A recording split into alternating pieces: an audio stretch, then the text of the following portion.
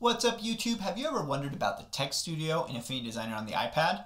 Well that is what we are here to talk about today. Welcome back, my name is Ben Nielsen. I'm a media design educator and today we are talking all about the text studio in Affinity Designer. We've been systematically working our way through each of the studios in Affinity Designer on the iPad. So if you're interested in learning more about all of the studios and the tools, go ahead and check out that playlist right here. There's a lot going on in the text studio, so let's go ahead and get started.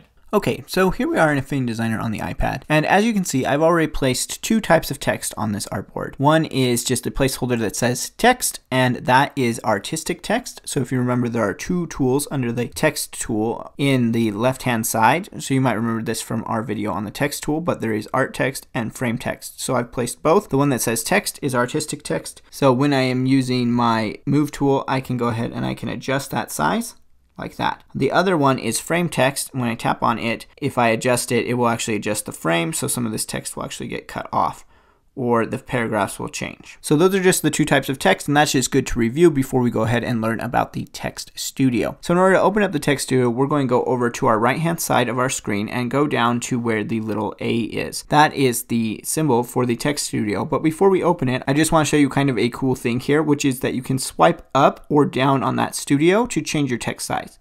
So if we swipe up, the text gets bigger. If we swipe down, the text gets smaller. And that is very similar to what we can do on the Stroke Studio where we can just swipe up or down to change the size of a stroke on an object. So let's go ahead and open it by tapping the A. And here you can see the Text Studio. And right up at the top, as we often do, we have a little menu. And if you tap that, you're just going to see there's only one option, and the option is check spelling while typing. Now, this is basically just a spell check, so if you want to turn off the spell check, like we might want to do if we're working with a lot of placeholder text, then you can just check it. So the text that I have here is just lorem ipsum placeholder text that I've copied in as an example, and we can take off this spell checking just by tapping the little checkbox.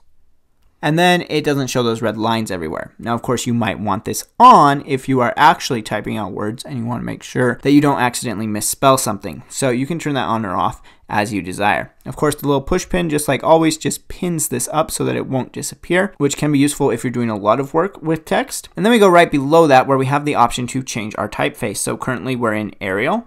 And I'm going to switch over to my larger headline text here just so you can see how typefaces change. So if you tap the little drop down, you will see a list of typefaces or in this case they are calling them fonts. I don't want to get into a big discussion about typefaces versus fonts here. It doesn't really matter all that much, but they're calling them fonts. And you can go ahead and you can select from any font or typeface that you have installed on your iPad. If you're interested in learning more about installing fonts on the iPad, go ahead, drop in the comments. Let me know if you'd like a video on that in the future. So you'll see that first you have a list of recent. So anything that you've used recently will be right there. And that's good if you are using, you know, a couple of fonts in the design and you just need to keep reusing them. It's good to have that little recent list there. And then below below that is just an alphabetical list of every font that you have installed. So let's scroll back up here and let's just choose one from our recent list just to see how this works. If we tap on Humble Rough All Caps, you can see that the text that we have selected is going to change. So that's pretty simple. The other thing that you might notice are these little drop down menus next to some of them. So if I open up this one next to American Typewriter,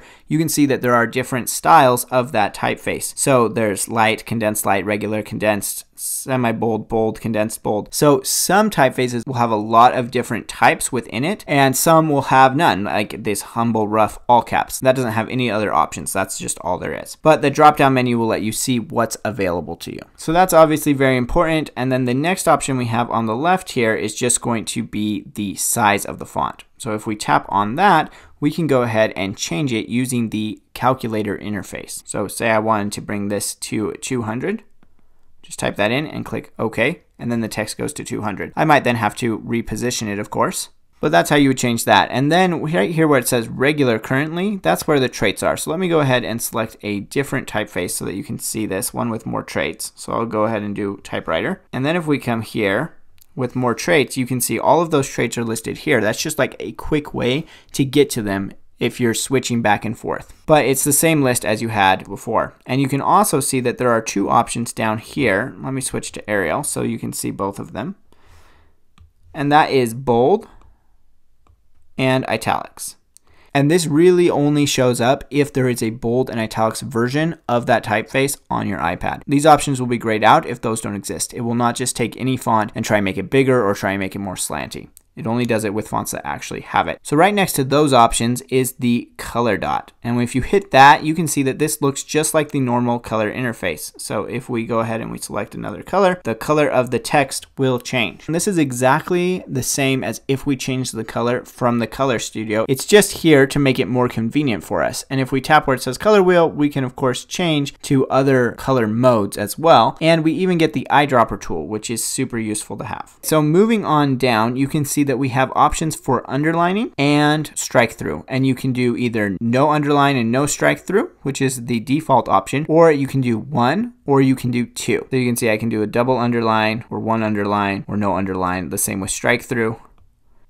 And you can see there are colored dots next to those as well, so you can actually change the color of the underline or the strike through. And that's how you can handle kind of the decoration on text. Okay, I'm going to go ahead and tap on my filler text here so that we can see how the alignment and justification options work. So currently it's left aligned, but we can also do center alignment and we can also do right alignment. So those are pretty standard in what you might expect. Below them are again left, center, and right plus full justification but all of these bottom ones are fully justified except for the last line in a paragraph. If I go left, you can see that it is pushing it all the way out. So this is what you might use if you are doing something in columns like a newspaper or a magazine. That's where you would use these. And of course, if you fully justify it, you will start getting things that are kind of weird. So most of the time, you're probably going to leave this in one of the top three, but if you're doing newspaper or magazine stuff, you'll have those options down there. Speaking of newspaper and magazine stuff, the rest of the menu here goes into submenus. So there's a character list and a paragraph list with a positioning menu and a typography menu for characters and spacing justification and tab stop menus for the paragraph. Now, these are not character styles or paragraph styles. They just let you go in and control the different attributes that are involved in the characters or the paragraphs. Now, I'm not going to go into all of these because most people aren't going to use them. They're a little bit complicated and you can't save them as a style, so I don't find them to be all that useful. I really think that the most useful part of the Text Studio is that top part where it's kind of the basic options. Once we get down into these options here where things get a little bit more complicated, we would really be better off being an Affinity publisher because Affinity Designer has just not been made to handle text super, super well because that's kind of the area that Affinity Publisher is in. However, Affinity Publisher has not been released on the iPad yet. And so that is where we run into some trouble here. And I've always said that Affinity Designer's weakest area was text and that they really need to improve its text handling, especially on the iPad. So I really would like to see them either bring Affinity Publisher to the iPad, which we've been waiting on for a couple years, or go ahead and bring some better advanced text options into Affinity Designer, like paragraph styles and character styles.